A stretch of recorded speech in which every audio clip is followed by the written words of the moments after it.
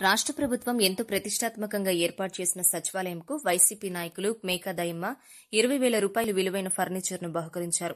పర్చూరు నియోజకవర్గం ఎద్దనపూడి మండలం పూనూరులోని రెండవ సచివాలయంకు అవసరమైన ఇరవై వేల రూపాయల విలువైన ఆఫీస్ టేబుల్ కుర్చీలను పంచాయతీ కార్యదర్శి నక్కల శ్రీనివాసుల చేతుల మీదుగా బహుకరించారు.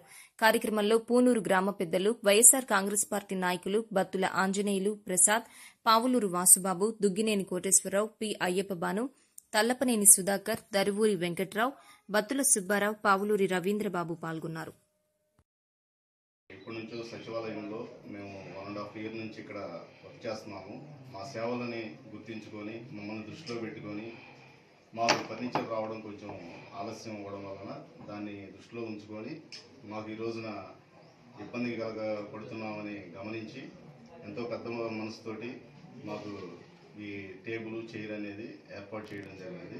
మీ అందరికీ కూడా పేరు పేరున ధన్యవాదాలు చెప్తున్నాను.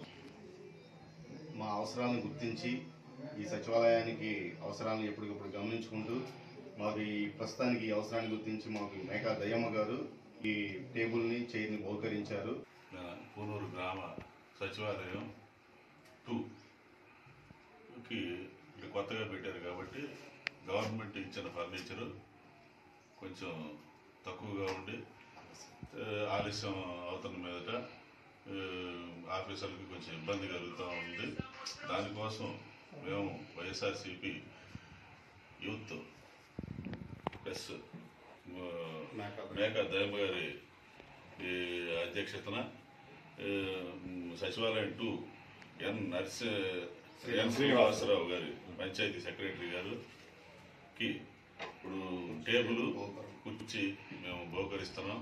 ఈ రోజు మేకా దయమ్మ గారు మన పంచాయతీలో మన గ్రామం అభివృద్ధి చెందాలనేటువంటి గొప్ప మనసుతో వీటిని ఇచ్చారు దానికి మన అందరం అతను అభినందిస్తూ మన ఇంకా జగన్మోహన్ రెడ్డి గారి గవర్నమెంట్కి మన ప్రభుత్వానికి మరలా రాబోయే తరంలో జగనన్న ముఖ్యమంత్రి కావాలనే అతికాంక్షతోటి మనం అందరం ఎంతో సహ- మీరందరూ ఎంతో సహకరిస్తున్నందుకు మన గ్రామ గ్రామ కమిటీ తరపున గ్రామ వైఎస్ఆర్సీపీ పార్టీ తరఫున యూత్ తరఫున మేకా దయమ్మ గారు కూడా నా శుభాభి